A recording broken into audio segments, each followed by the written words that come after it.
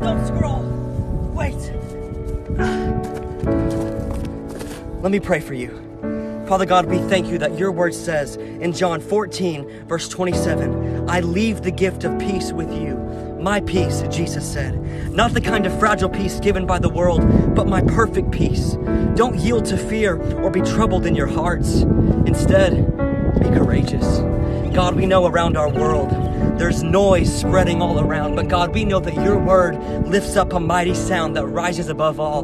God, we thank you that we don't have to depend on man. We can depend on you, and you, Father, will not be moved or shaken. You reign on the throne above anxiety, above fear, above chaos, above hysteria. Father, you are the one who is consistent and will never be shaken. So today we lean into you and we trust you that you are our perfect peace. In Jesus' name, amen.